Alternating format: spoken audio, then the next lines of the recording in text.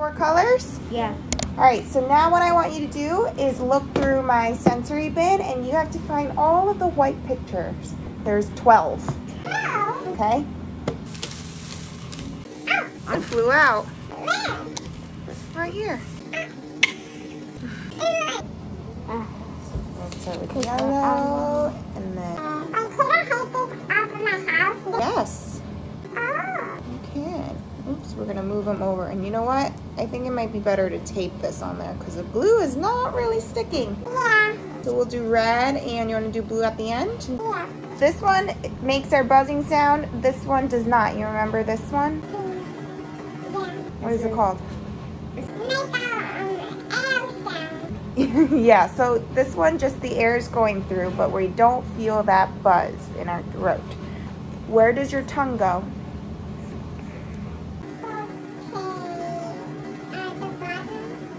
It should go in between your teeth. Okay, so put your tongue in between your teeth. Just a little bit. You don't want to stick it out too much. Make sure that air goes through.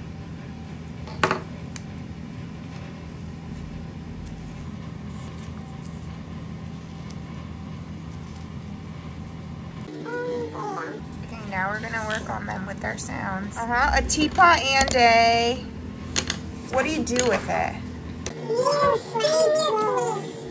How is an iron and a teapot similar? They both have steam, excellent. And what is, They both use water. and what is different between them?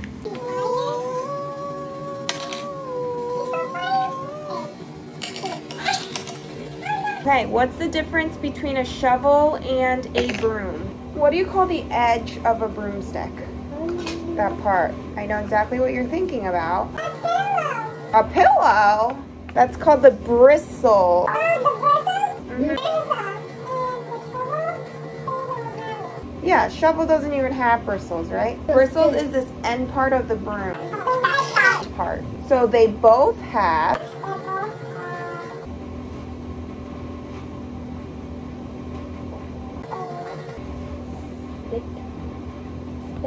What's the part that you hold? What's that called? Like a stick. A handle, good. They both have handles. So broom you use for sweeping, a shovel you use for digging. Yes.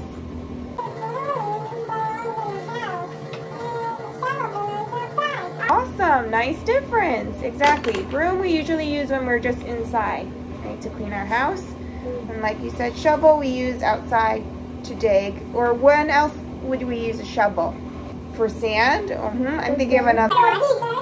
Dirt or snow. We use it for the snow. Okay, give me a full sentence. Nice long sentence. He.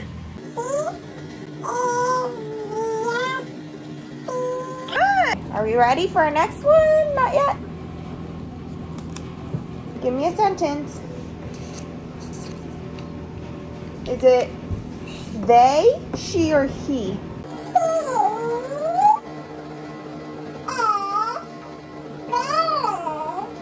Building. He is. He is building. Nice sentence. Here's our next one. Give me your sentence.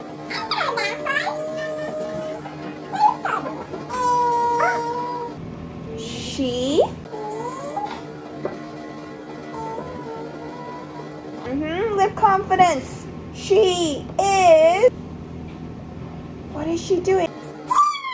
She is cheering. Your turn. Give me your sentence. Oh, she is cheering. Nice work. You're right. There's two people, so we say they. Keep going. Vroom, vroom, vroom. Yep. Good. I heard your snake sound in sleeping, but I didn't hear it in is. Can we say that again? Good. Let's try it one more time, the whole sentence.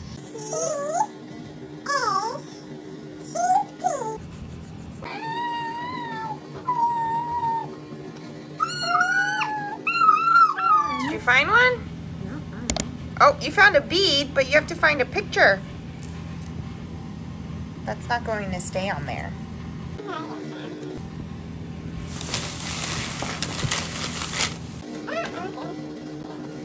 I see them. Pick a picture.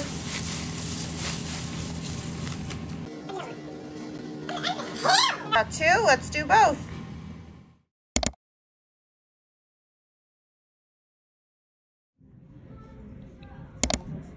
What is the opposite of stop? So stop sign is red. When a sign is green, that means go. Stop and go are opposites. Good job. Put it on the paper.